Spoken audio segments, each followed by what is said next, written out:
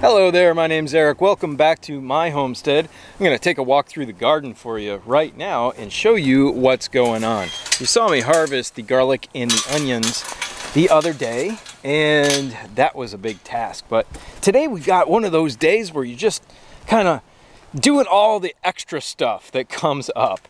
Yo, wow, look at these poor English peas. It did get too hot for them, but uh, all that rain just kicked their butts in terms of powdery mildew.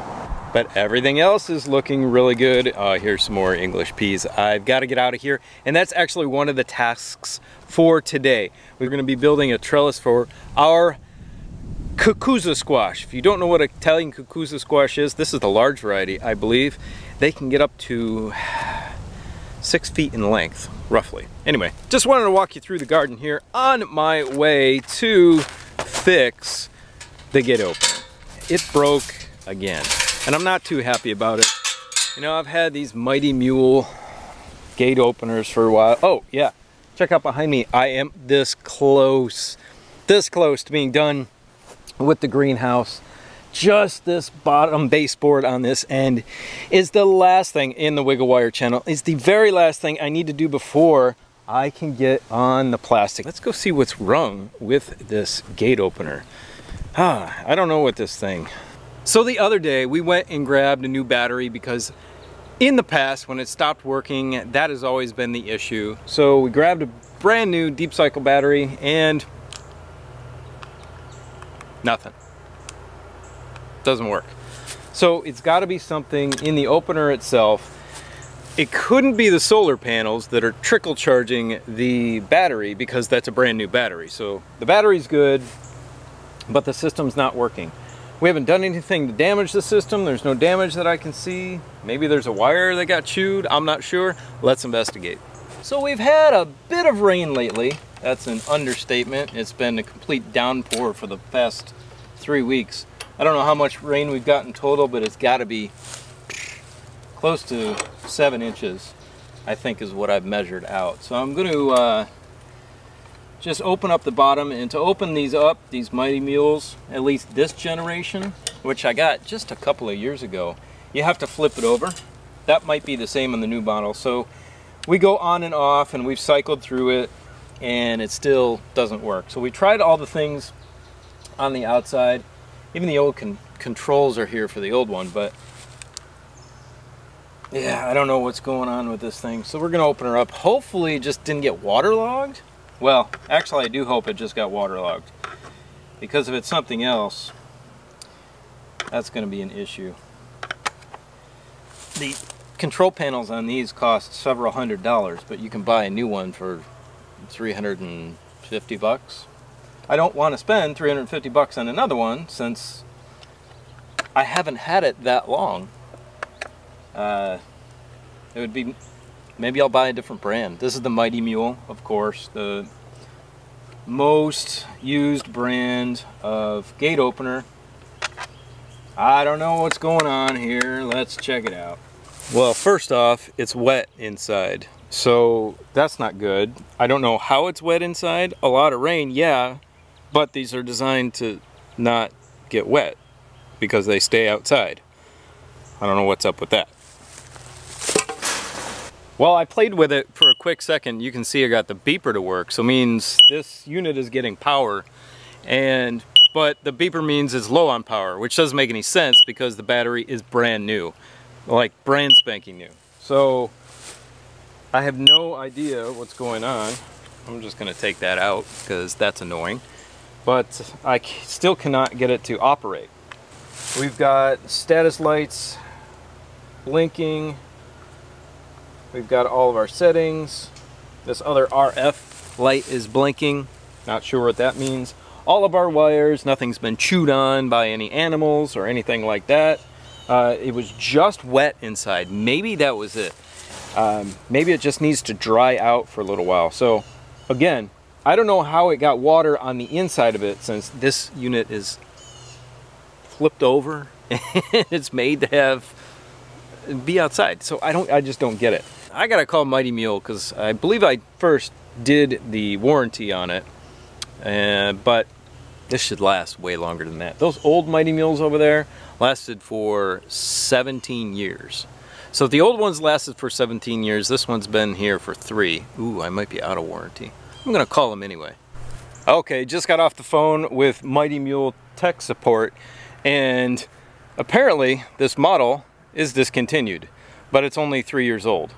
But they stopped making it two years ago. So I got apparently one of the last ones and we did some tests on it and it looks like either the rev counter switch is bad which is $40 no big deal um, or the whole motherboard is bad which I said okay how much is that uh, we don't make them anymore all right three-year-old product and they don't make the motherboard for it anymore I said apparently you switched your design and don't use that old that motherboard. Yes, that's correct. But you still use the rev counter switch. Yes, that's correct. Okay, it is what it is. You know, you buy products, you don't know how old they are. You don't know if they're in their last run on the store shelves. You don't know if they're going to make parts for them anymore, although they should. Looks like my Mighty Mule is dead after only a couple of years. Wow, the old ones, check out these old ones. I still didn't take them out because, well, I just set them set them over to the side. Check that thing out. That thing is actually heavier than the new one. That thing not happy about it. I don't feel like spending 400 bucks on a new one. Yes I'm privileged.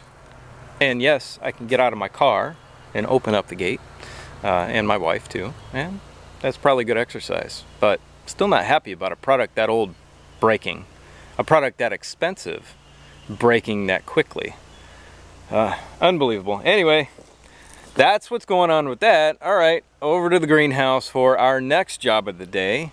May, oh, maybe I'll save that for later. I need to build this. Okay, come with me over here to the garden. Let's check this out. Okay, right here, we've got the posts set in for our Cucuza trellis. Uh, and you can see the Cucuza are starting to go all over the place crazy and the fruit needs somewhere to grow. So I really do need to get this trellis built. I'm gonna cut a couple of, you know, the cattle panels. I use the cattle panel trellises for, or I use the cattle panels for trellises. I'm gonna cut some flat pieces off a scrap one that I have for this trellis so the fruit can hang the way it's supposed to hang. Anyway, I think we'll do that one next. Let's do it.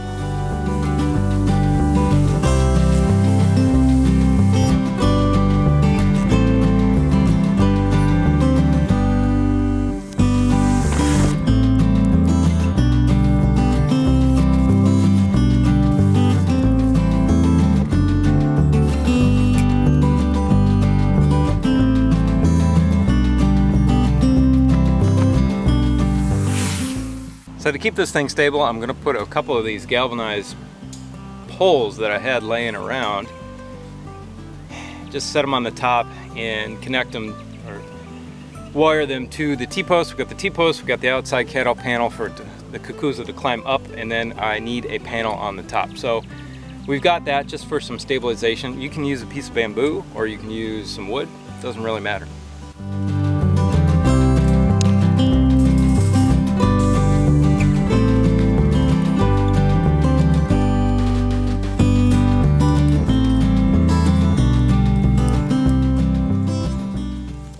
I'm going to do is I'm going to pick these Cucuza vines off the ground. I'm going to use these plastic clips to clip them to this and hopefully pretty quickly their tendrils will attach themselves to the wire.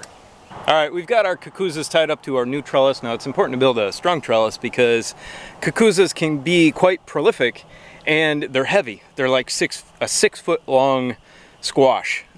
Skinny, you know, maybe that big around, but they're quite heavy.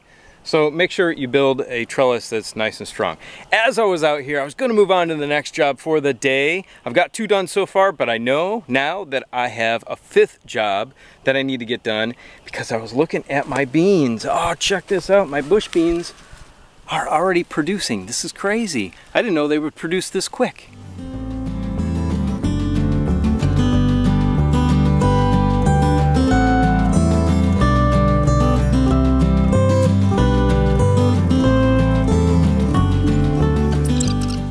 That's half of what's on that plant. The rest are too small, but look at that.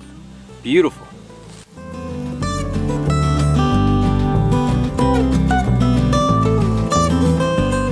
Okay, I just got all those beans picked. Fourth job of the day is to put the baseboard, the final baseboard, and the final wiggle wire channel right here on this bottom side on this end wall. Then we can finally get our greenhouse plastic on. Oh, yeah, I'm wearing a different shirt. Why? It's 90 degrees out here and crazy humid. So I've sweat through it already. I went in to get a drink and I looked like I was in a swimming, swimming pool. So it's not a new day. It's still the same day. Let's get this one done.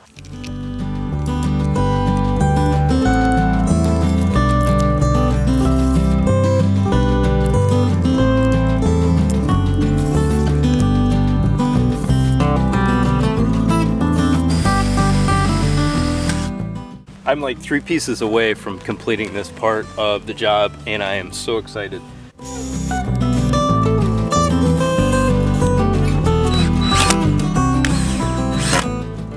All right, check it out. It's done. It's done. I am so excited. The structure on the greenhouse is complete. And the last thing to do, or the last two things to do, are put on the plastic with the roll-up sides. That'll be one video. And the next video will be putting on the doors because that's very specific and a lot of people wanted to see that uh, in-depthly. So I'll do a whole video on just hanging those doors. Well, we get a lot done today, which is super cool. And it's always fun on the homestead because there's so many different things to do. If you get tired of doing one thing, you can jump into doing something else because there is always, always another job to do. I think I'm going to be contacting a company called Ghost Controls, which makes another opener for gates. There's a couple of companies out there. I think Mighty Mules are maybe the cheapest, but uh, it broke after a couple of years, so that's that's a little ridiculous. So I might be contacting some other people to try and see if I can get something out here to show you guys that is better than one of these Mighty Mules. Stay tuned. And now I'm actually gonna head in. I have a few hours of light, but my wife just got home with dinner and I'm starving. So it's that time. So we hope y'all have a great day and we will see you on the next video. Take care. Bye.